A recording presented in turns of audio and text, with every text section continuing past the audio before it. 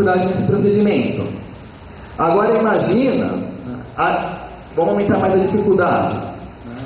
Imagina no caso se eu tentasse fazer algum projeto com eles só em software livre. É, porque assim, né, pra gente que tem um certo conhecimento, quando você fala assim, ah, o LibreOffice faz tudo que o, que o MS Office faz, e algumas coisas melhor, outras similar. É, só o fato do nome já é um nome que acaba assustando essa mudança. Até porque é, todo ser humano tem aquela dificuldade de querer sair da famosa zona de conforto. É, tanto que por isso né, tem a própria Canonical, você pode ver que recentemente tem várias críticas a respeito dela, no sentido né, no sentido dela estar cada vez mais ocultando o nome Linux. Se for pensar em questão é, de marketing, é uma decisão acertada. Até se a gente for refletir, né, por que será que não só o governo do Paraná, mas o governo de outros estados que também ajudaram a desenvolver o Linux educacional, optaram por fazer o Linux educacional e não em ajudar algum outro projeto? Por qual motivo será isso?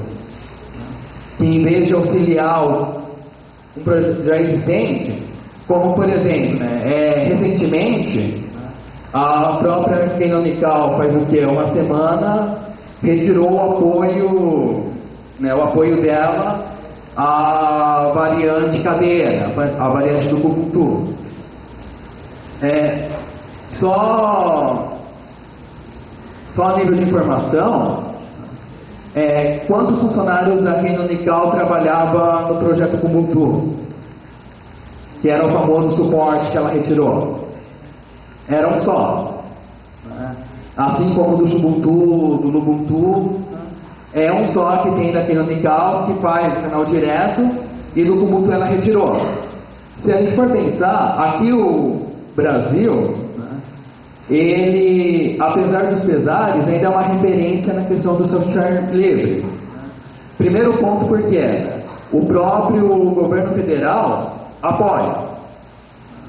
E isso independente de partido assim. Porque mesmo quando estava ainda na era FHC, não tinha apoio explícito, mas ainda tinha um, aquele apoio tímido, mas nunca foi cortado, diferente de outros países. Então, se eu pensar, né, não seria a chance, por exemplo, do Brasil né, é, assumir ou investir. É, se bem que eu pensar bem, né, não pegaria bem para distribuição. Já pensou assim, Ubuntu, financiado pelo Congresso Nacional. Já não ia pegar muito bem. Mas tem também muita questão daquela famosa vaidade. É, eu conheço muita gente da Federal do Paraná, até professores, e até questionam, olha, né, se a Federal do Paraná né, é conhecida, até porque quando você vai baixar alguma distribuição Linux, a maioria dos é onde? Ou é Unicamp ou é Federal do Paraná. Né? Tem outros, mas não tem uma velocidade, acaba não sendo algo muito bem estruturado.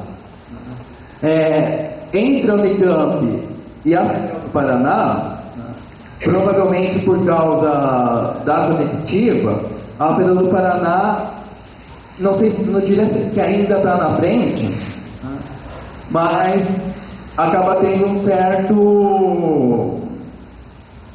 Como posso dizer? Né? Acaba tendo um certo mérito ainda além. Né? É, só que tem, repetindo, né, o grande problema da vaidade, que é justamente o fato do que é, né, que em vez deles assumirem né, que pegaram uma variante Ubuntu ou Debian, ou manter a original, né, e contribuir com um projeto além, né, o caminho optado foi por quê? Não, vamos fazer a nossa, que é o quê? Troca papel de parede, coloca no lugar lá do Ubuntu Linux educacional e alguns repositórios. Tem um repositório Mac que ele. É, quem aqui já acessou aquele site domínio público? Então, né, tudo que tem no domínio público tem no repositório do Mac para o Ubuntu. Se não me engano é deb, http, dois pontos, barra, barra, mac, educacional. Agora sim, é, se a maioria das escolas públicas é, estão começando a adotar alguma versão do Linux, inclusive até numa fala de corredor, eu conversando né, com alguém da organização, até comentou comigo que aqui em São Paulo tem uma ideia, um projeto de colocar o Linux nas escolas. Qual que é o principal motivo de colocar Linux nas escolas públicas? É dinheiro.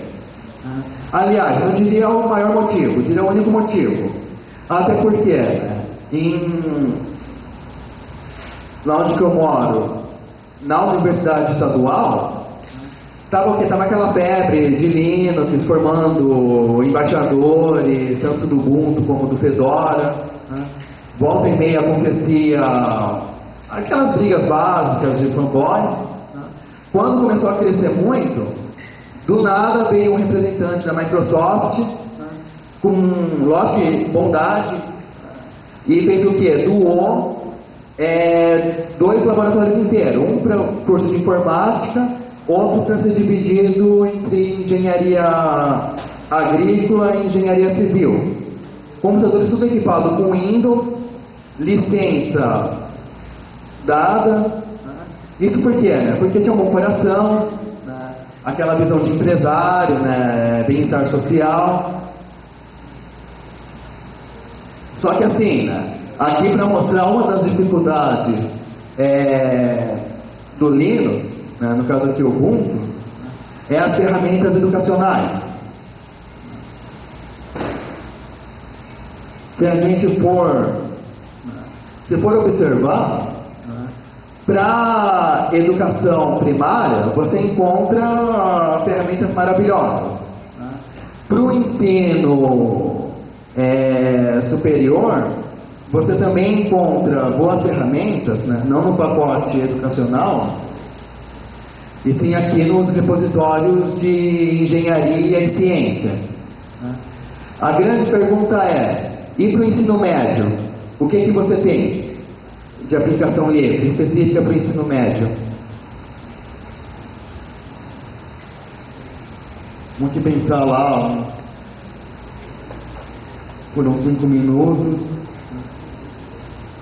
Uma das poucas coisas que você tem que eu vi né, que funciona para o ensino médio seria a tabela periódica. Tabela de conversões, nesse sentido. Fora isso, ainda falta muitas e muitas aplicações.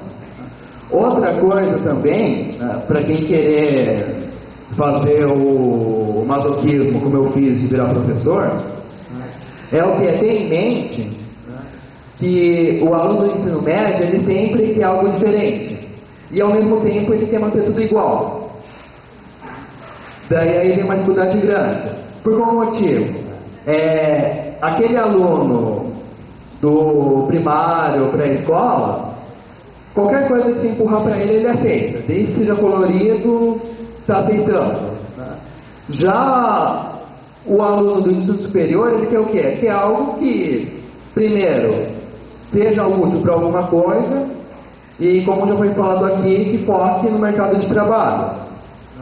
Até porque, né, é, bem ou mal, o mercado de trabalho ainda é o grande referencial.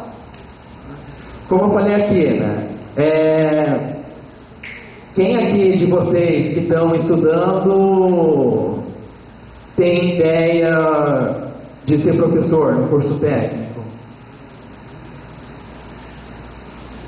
É, não, primeiro meu cedo, mas o parabéns. Só que assim, chance né, para completação tem e tem muita. Ainda mais agora que os governos estão focando na formação de técnicos, né, é a chance de pegar. É, eu mesmo, né, minha formação que eu fiz foi é, sociologia, né, ou seja, tudo a ver com a área, assim. Só que na época do meu curso a procura era pouca. Hoje aumentou. Por qual motivo? Depois que o MEC ele colocou como obrigatória a sociologia em todos os anos do ensino médio, a coisa de figura. O próximo curso, que vocês podem ter certeza que vai se tornar obrigatório, vai ser ligado à área de informática. Isso por qual razão? Que ele vai ser obrigatório no ensino público, na educação básica. Prime a primeira razão seria, no caso, a dependência cada vez maior que a gente tem, não só do computador, e sim dos famosos multimeios, né, que daí entraria celulares, smartphone, GPS, por aí vai. Se bem que no caso GPS ainda não dá para confiar muito nele. Que eu mesmo vim procurar aqui, fiquei andando das 8 da manhã até meio-dia para achar. Mas, não, coisa básica, tranquila. É, quem aqui de vocês já teve contato com Linux no ensino médio? É, foi, foi por questão pessoal ou foi na própria escola onde você estudou? Bom, então, realmente aqui no Brasil, teve mais ou menos entre entre 2002, 2000 2002, uma febre por procura do Linux. Antes, isso no sentido da educação. Antes, teve o quê? Teve toda aquela febre lá por 90, não me fala a memória, 96, 98, que foi o período que a conectiva ainda estava ainda estava em alta, depois ela caiu, e agora até tem sempre aqueles boatos, né, que a mandriva pode voltar para o Brasil, só que aquele